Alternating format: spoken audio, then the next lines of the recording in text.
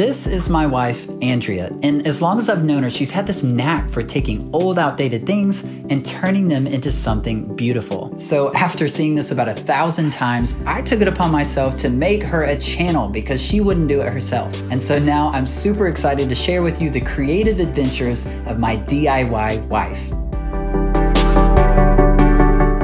Hey everyone, welcome back. It's Dean and Andrea, and today we are talking about how we flipped a storage unit a few months back. But before we jump into that, we have some exciting news to share with you guys.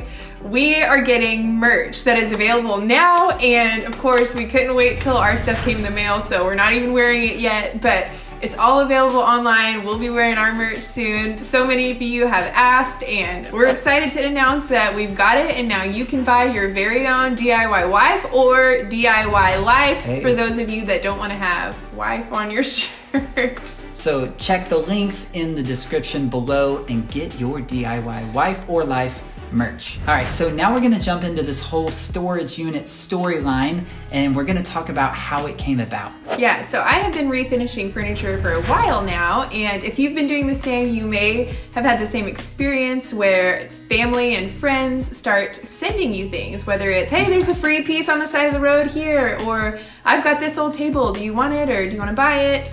And basically, a neighbor of ours said, Hey, I have a client who's wanting to get rid of this whole storage unit. It has a lot of good furniture. Would you be interested in buying it?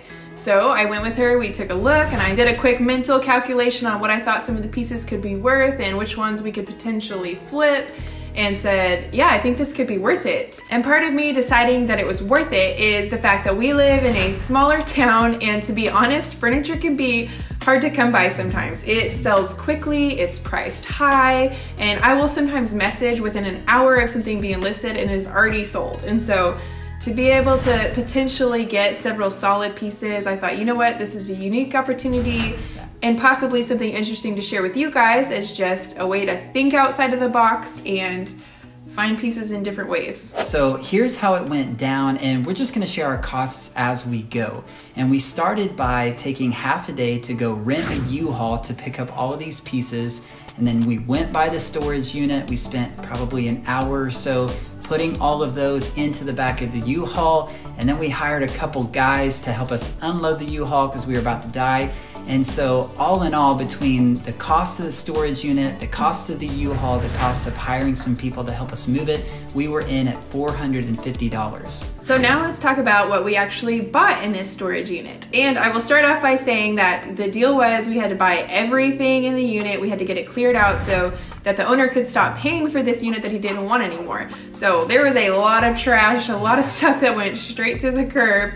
But we basically had two groups of furniture. One group that I just wanted to clean up and sell for kind of a low price that I knew would sell, and then a few pieces that I wanted to actually spend time redoing, painting, fixing up to sell for a higher profit. So let's first talk about those pieces that we turned over a little more quickly. So we had a file cabinet that we sold for $30, then this cool solid wood antique table that we sold for 40 a desk that we sold for 15, another desk that we would have sold for more, but it ended up being locked, and so we sold it for 50. And then this really awesome solid wood mid-century desk that I sold for 400. And to be honest, that desk was the one piece that made me think this could actually be worth it because I knew it's a valuable piece and I really probably could have sold it for more, but again, we're in a smaller town. We actually had somebody drive from over three hours away to pick it up and it's just a beautiful piece of furniture. So that brought our total for all of those pieces that we just cleaned right up and sold off to $535, which basically covered the cost of the unit,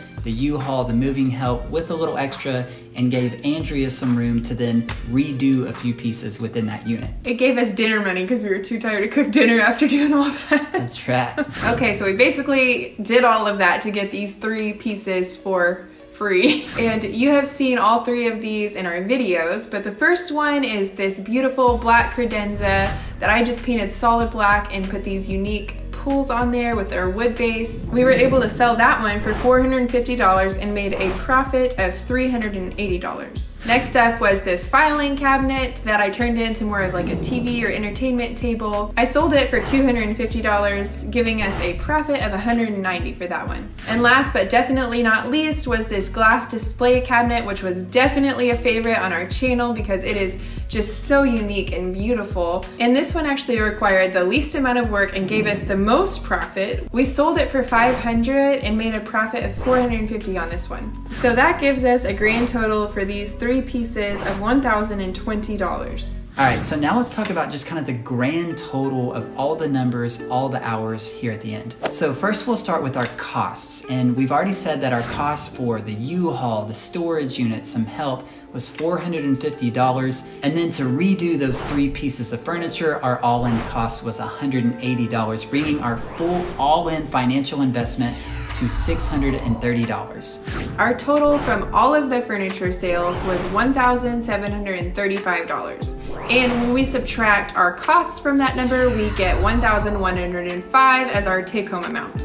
And let's add in there our hours. How much time did it take us to flip this whole unit? We both put about four hours into going, getting the U-Haul, and then loading the storage unit into it, bringing it home and unloading. And then I spent two hours taking pictures, cleaning that up, listing, communicating with people, and then another 15 hours on those three pieces that I refinished. That gives us a total of 25 hours between the two of us, giving us an hourly pay of about $44 an hour. Not bad, not bad. Not too bad. So I think the big question here at the end is was it really worth it? Would we do this again? I feel like this is a little bit tricky Yeah, it's a little to tricky. answer, but it was definitely more work than we anticipated. We had a few hangups. We actually had a few pieces where there were locks on them, and it just didn't even cross my mind to pull them out of the storage unit before I said yes and to make sure that everything opened. And so that was some potential profit that was just gone because I put them by the curb. But all in all, we made a decent amount. Thankfully, we did better than breaking even and we didn't lose money, and I did get some really cool pieces out of it. Would we do it again? Probably not don't know. for a while. I mean, it'd have to be a really great opportunity for us to jump in and put that much work into it again. So that's it for our storage unit experiment video. We hope it was helpful. We hope it kind of gives you some idea of what that process looks like and if it would be worth it for you to try it. So again, check out the merch below and we will catch you in another video very soon.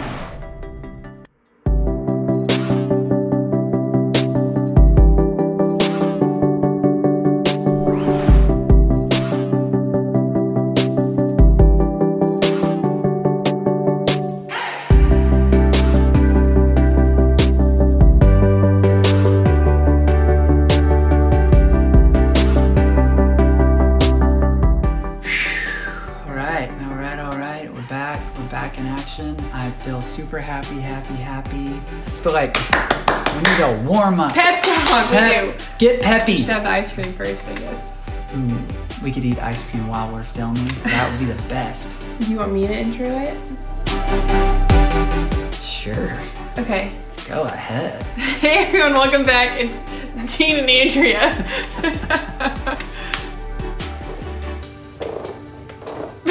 my pants are Excuse squeaking me? on the leather chair. Don't don't put that don't put that in the outtakes. It sounds like a party. but before we jump, before and part of me deciding that it was worth it, I just kind of stopped talking there awkwardly. I'll be doing some chopping on that. Okay.